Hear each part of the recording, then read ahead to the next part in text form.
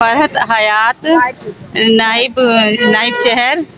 और ये कि हमारे रहनुमा जमात इस्लामी के हाफिज़ नईमान साहब की अपील पर हम लोग यहाँ सब जमा हुए हैं। और आज एक साल हो गया है फ़लस्तीनियों पर जुल्म होते हुए।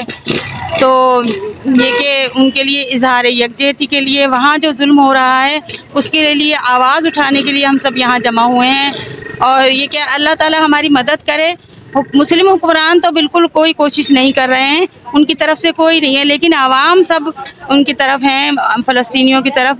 हमारे मज़लूम भाई बहुत ज़्यादा वहाँ परेशान हैं और हम सब उनके साथ हैं इन और जब तक हमें, हमारे रह पर हमें जो कहते रहेंगे इन हम वही करेंगे।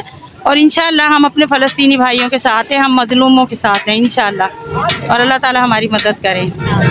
आमीन।